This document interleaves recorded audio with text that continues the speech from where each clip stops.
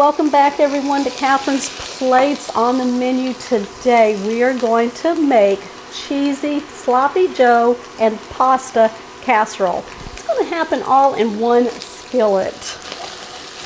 I have one pound of ground beef that I'm chopping up right here and I'm going to brown it up until it is no longer pink. And then I'm going to take this onion and bell pepper, chop these up, and then I'm going to add it to the ground beef. I have a really good recipe that I use all the time for sloppy joes. So you can either make your own homemade sloppy joe recipe or you can use the can of manwich that you can pull out of your pantry. You won't find it in my pantry. so I'm going to go ahead now and chop up some onions. Now the sloppy joe recipe is called my mama's sloppy joe recipe because that is my mom's recipe. And Luckily enough, she has given me that recipe. She made it all the time when I was young. She made a big batch of it. All right, as I'm chopping up my onions and peppers, I'm going to go ahead and add them to the ground beef, and then I'm going to cook them down until they're nice and soft. Now, the beef was very lean, so I'm going to go ahead and add about one tablespoon of cooking oil, or you can add some butter to it. That'll help soften down the onions, not dry them out.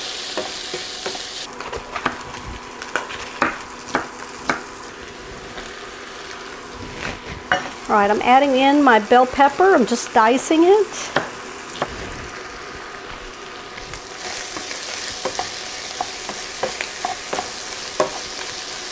All right, my ground beef is all nice and browned up. So now what we're doing is just looking to soften down those peppers and onions. I'm gonna go ahead and start seasoning with some salt and pepper. About an eighth of a teaspoon right now. We're gonna season later.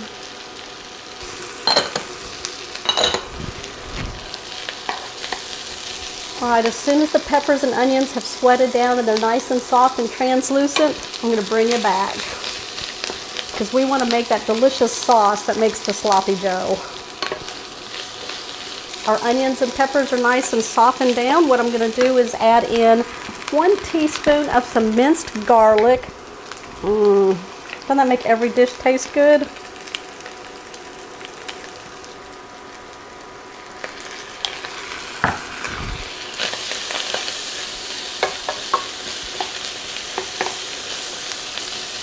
All right, I'm going to stir this around for 30 seconds to release the flavors of the garlic all into the meat and the peppers and the onions.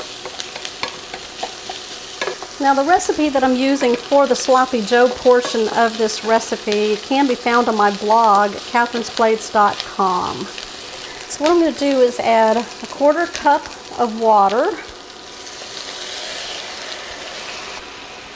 half a cup of ketchup, you can easily make sloppy joes from anything in your pantry. One tablespoon of brown sugar and about a half a teaspoon of some mustard. I'm using some Dijon mustard, just add some additional flavor. There we go. I'm going to add some pepper, about a quarter of a teaspoon, and about an eighth of a teaspoon of salt. Just going to stir this all up.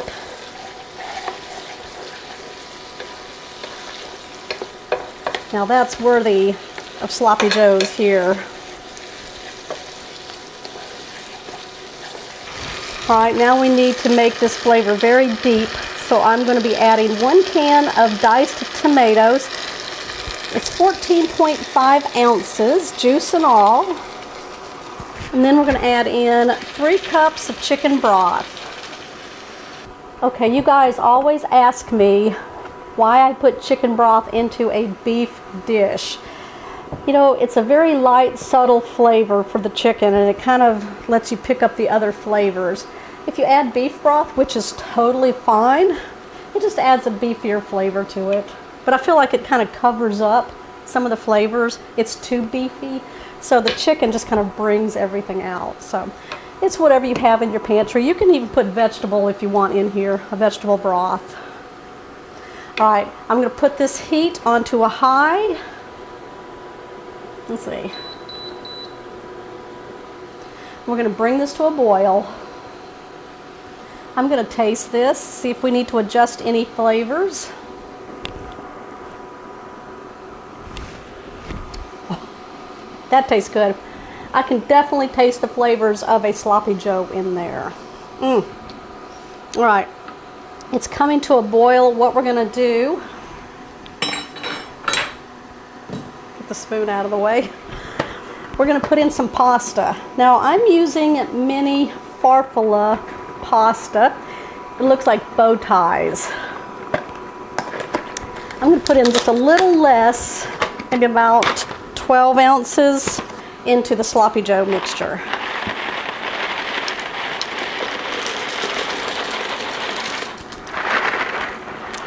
All right, that's what they look like. Little bow ties. They come in regular size also. These are just the mini.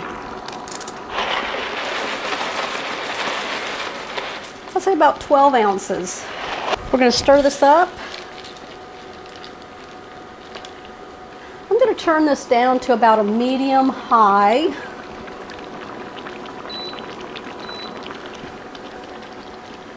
We don't want this boiling boiling and we don't want this too low to where it takes too long to cook.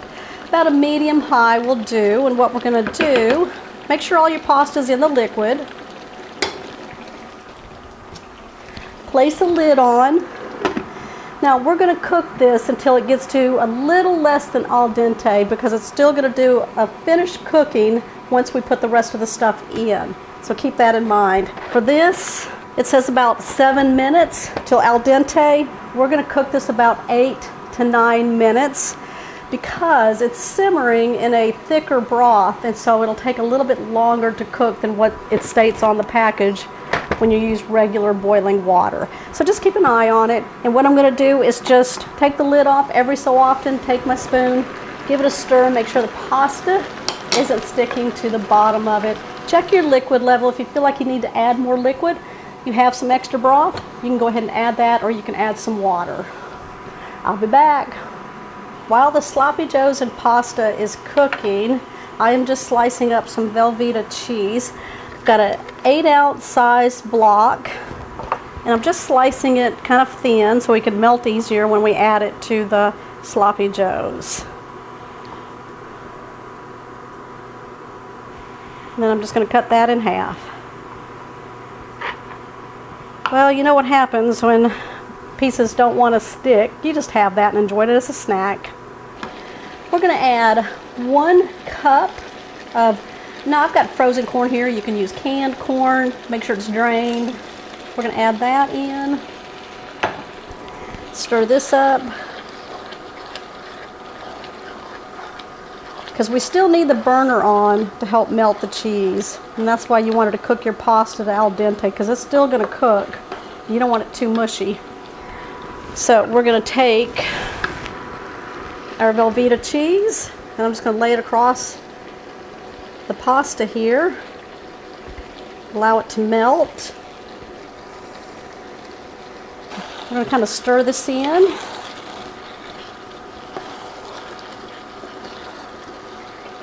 We want that cheese to be nice and melted in there. All right, that looks really good. Once that cheese is nice and melted, go ahead and turn off your burner. Make sure you check your pasta one last time. Give it a taste. Make sure it's nice and tender because the heat is going off. What we're going to do now, I'm going to take one cup of shredded sharp cheddar cheese or whatever cheese you have. We're going to sprinkle it on top.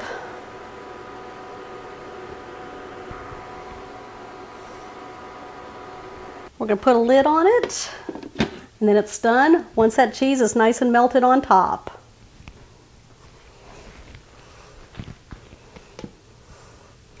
Okay, our cheese is nice and melted on top. Oh, smells delicious. I'm going to sprinkle some fresh parsley on top, make it pretty. Voila, dinner is served. Cheesy Sloppy Joe pasta casserole. What do you think?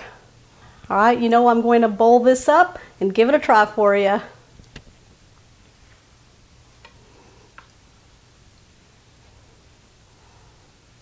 Oh, you guys, I'm fixing to send my family out on some errands. Maybe that way I can have all of this to myself. Think that'll work?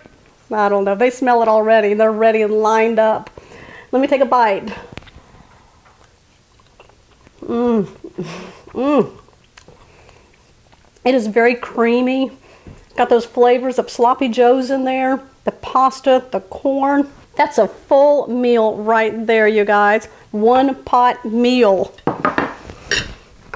There you go. You challenge me every day to bring you these. Who's going to make this one?